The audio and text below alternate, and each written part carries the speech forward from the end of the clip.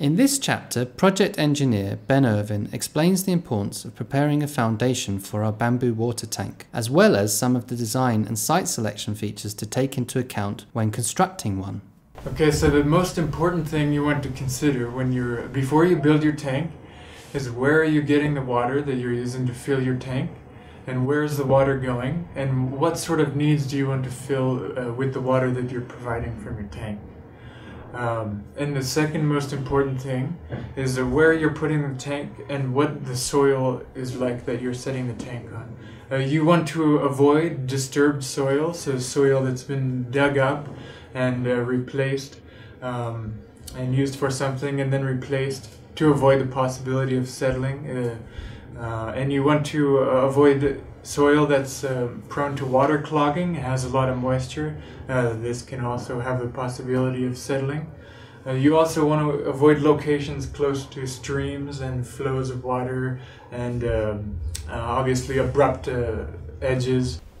It's important to have a foundation for the bamboo tank to eliminate the possibility of moisture coming into the bamboo and uh, causing rot from the ground. So we're using a, a simple rubble and trench foundation for the tank. Uh, so we begin by digging down into the earth about a foot and filling that with large river rock to create our, fo our foundation and allow for drainage and all that. And then it just covered that with a lightweight concrete, um, which we used uh, just a light steel reinforcement, and then uh, poured our concrete right on top of that. The major design considerations uh, for this foundation were uh, the amount of water that's sitting on top of this tank and uh, how that load is acting uh, on our foundation. Uh, so to account for that, that load and that weight of water, we kept a, uh, a small depression in our foundation to provide equal load distribution and to prevent the possibility of our foundation from buckling upward due to the pressure on the walls of the tank.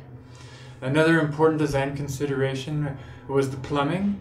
We chose to do uh, two pipes through the foundation uh, of the tank. One is a, a complete flush uh, for cleaning of the tank, and one is the standard domestic drain, which is slightly above the floor of the tank to allow a certain percentage of the water to remain for emergencies and uh, whatever needs may arise.